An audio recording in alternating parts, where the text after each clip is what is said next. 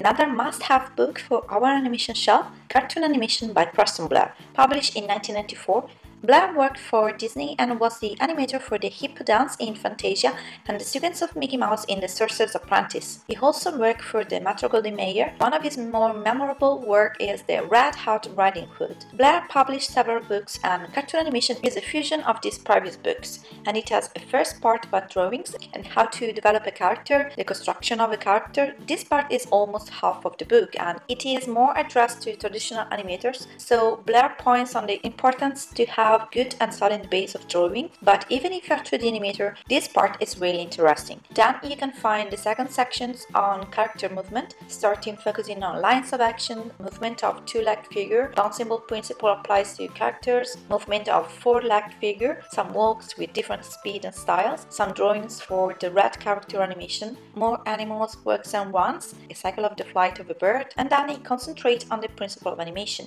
analyzing balance and tilt, straight ahead animation, anticipation with action and reaction, arcs and path of action, the wave and drag principle, takes, surprise reactions, a part focused on expressions, emotions, attitude, and body language,